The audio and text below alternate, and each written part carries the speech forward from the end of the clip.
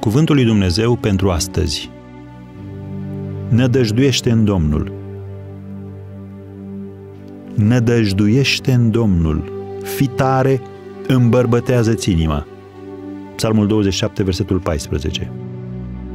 Când ne uităm la viața noastră și la evenimentele mai puțin plăcute din ea, ne dăm seama că 1. Dumnezeu avea ceva mai bun pentru noi.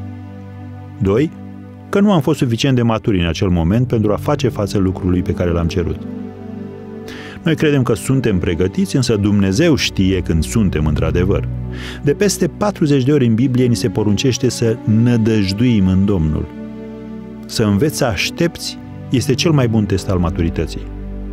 Dr. M. Scott Peck scria, citez, Amânarea recompensei este un proces prin care tratăm durerea în așa fel încât să ne întărim nădejdea prin primirea, experimentarea și depășirea suferinței.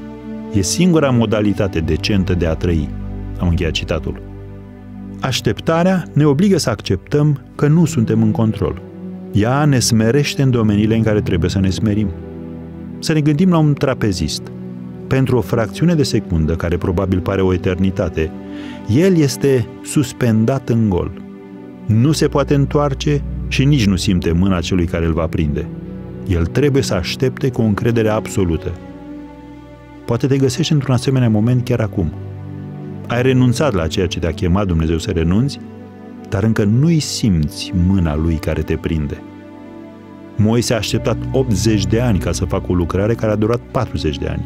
Deci două treimi din viață și-a petrecut-o pregătindu-se – Domnul Isus a petrecut 30 de ani pregătindu-se pentru o lucrare care avea să dureze 3 ani și jumătate. Din perspectiva lui Dumnezeu, viața ta nu se măsoară prin lungimea ei, ci prin eficiența și impactul pe care îl are pentru împărăția sa.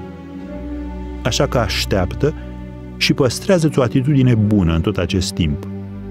Dumnezeu nu te va dezamăgi.